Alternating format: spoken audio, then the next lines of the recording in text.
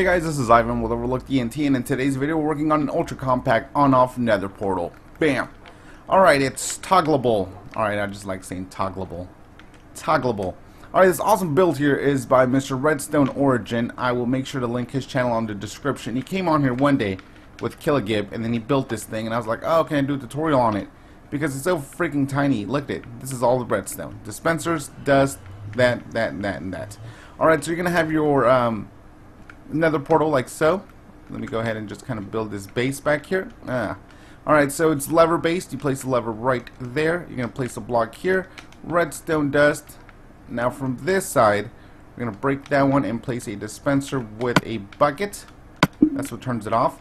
You're going to put a repeater on top of this, but you can't do it right on top of it. See, because you access it. So place it on the um, obsidian, for example, and it stamps it right on top three ticks on that. We're going to go redstone torch here. We're going to go one, two, like so. Break that redstone dust there. And we're going to break this block just so we can get a good look at this block and place a dispenser going this way toward the portal. Just block it off again.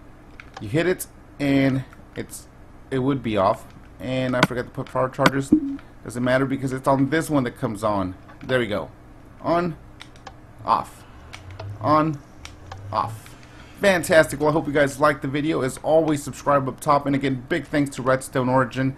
Again, I'll link his channel in the description. Make sure to check him out and say hello. Alright, as always, peace out.